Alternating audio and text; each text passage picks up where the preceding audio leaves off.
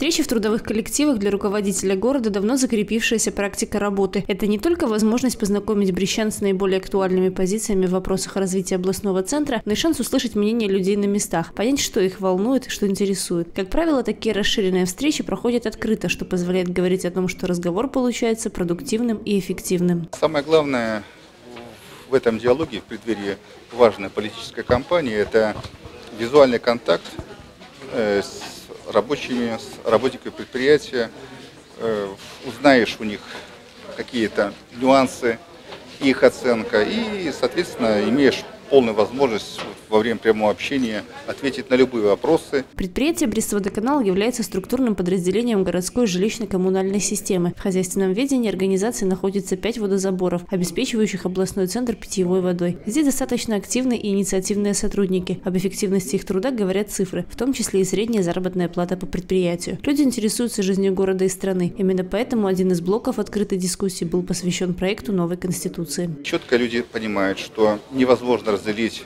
понятие Конституция как что-то абстрактное и повседневная жизнь как что-то реальное.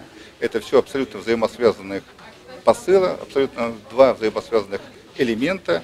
И от того, какой базовый политический документ будет у нас в стране, будет зависеть в том числе и жизнь каждого предприятия, в данной ситуации успешного предприятия «Водоканал», которое будет еще работать более эффективно и более как ответственно. И вообще это благополучный коллектив, но мы основной акцент сделаем на коллективы негосударственной формы собственности, на те коллективы, где, возможно, ситуация не так финансово благополучная, как на данном предприятии. Диалог состоялся. Это подтвердили и вопросы, озвученные в адрес градоначальника. Практика проведения подобных встреч будет продолжена. Это позволяет не только сверить часы, но и определить моменты обсуждения и решения которых будет взято на карандаш в ближайшее время.